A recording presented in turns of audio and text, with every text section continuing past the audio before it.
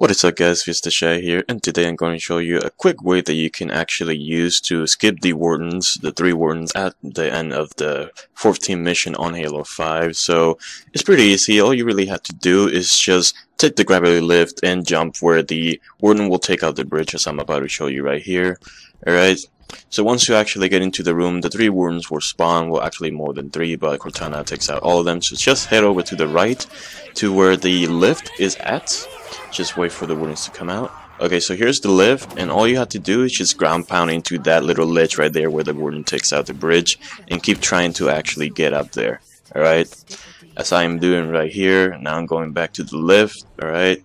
Be careful with those wardens because they can still one-shot you in the air, so you might want to be careful with those. So just take the lift and ground pound to the little edge right there, and there's Kelly, freaking beat me to it. Fucking AIs.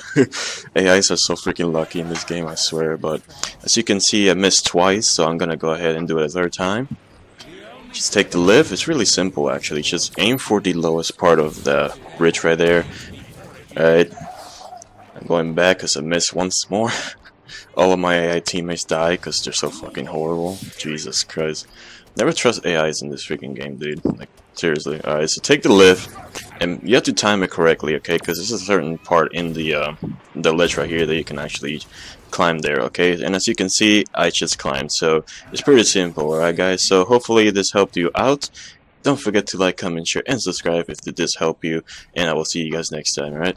Peace.